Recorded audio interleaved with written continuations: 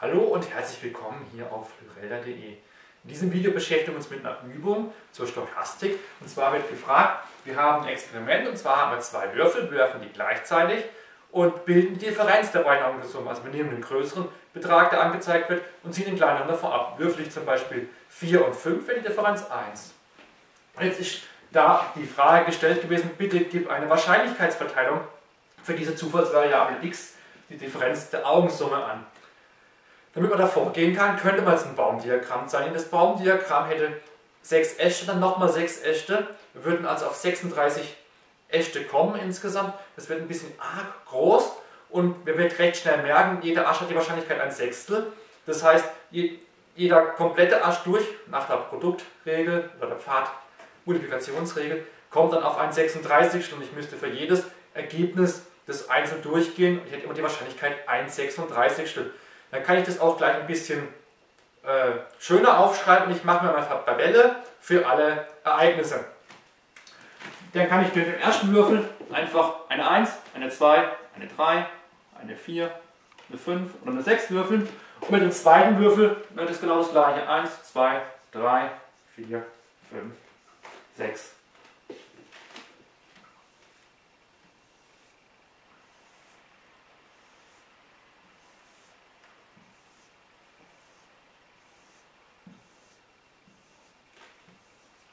So, wenn ich mir jetzt diese Tabelle hier anschaue, dann erkenne ich schon, dass man dann, wenn ich einen Pasch habe, die Differenz natürlich 0 ist. Und ich kann somit direkt hier die Diagonale mit den Nullen ausfüllen. Weil würfel ich zwei Sechser, also mit dem, zwei, mit dem einen Würfel eine 6 und mit dem anderen Würfel eine 6, die Differenz 0. Würfel ich mit dem einen eine 1 und mit dem anderen eine 2, dann wäre die Differenz 1. Bei 2 und 3 dasselbe. Ihr seht schon, immer diese Diagonalen haben die gleichen Einträge.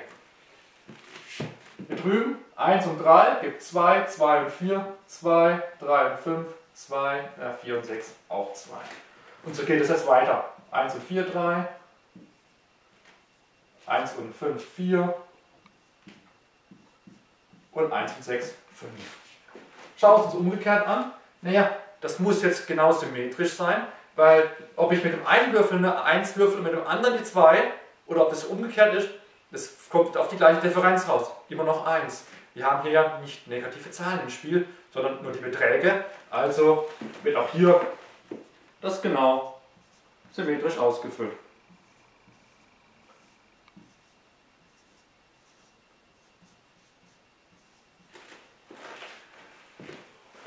Wir haben also alle Möglichkeiten hier in unserer Tabelle müssen das jetzt nur noch ablesen.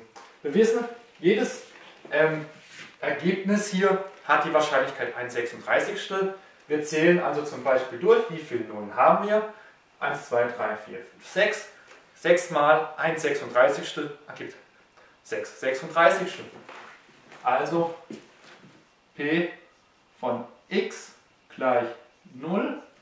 Also die Wahrscheinlichkeit dafür, dass die Differenz beim Werfen mit zwei Würfeln bei den Augensummen genau 0 ist, sind eben genau diese 6 36 oder 1 6.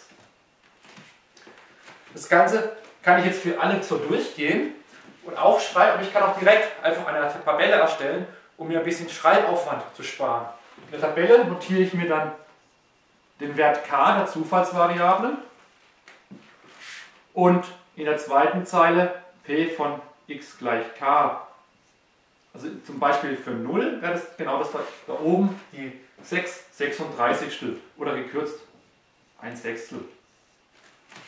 Für 1 zählt man durch, kommt auf 10 36 also 5 18.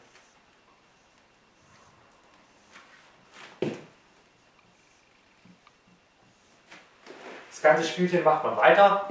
Man nimmt das für 2, 1, 2, 3, 4. Hier unten nochmal 4, macht 8 36 oder kürzt 2 Neuntel. Bei der 3 sind es noch 6 36 oder 1 Sechstel. Und so weiter. Bei 4 sind es noch 4 36 also 1 Neuntel. Und bei 5 haben wir nur noch diese beiden Fälle, also 1 8 Zehntel.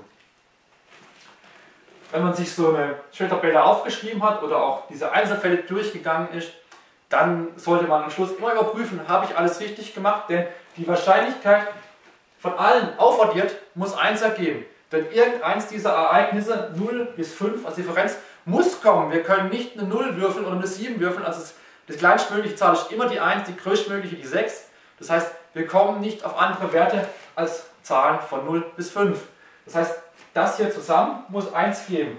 Müssen wir alles zusammen addieren und dann gibt es hier das Zeichen für Summe, ein griechisches großes Sigma. Müssen das einfach aufaddieren.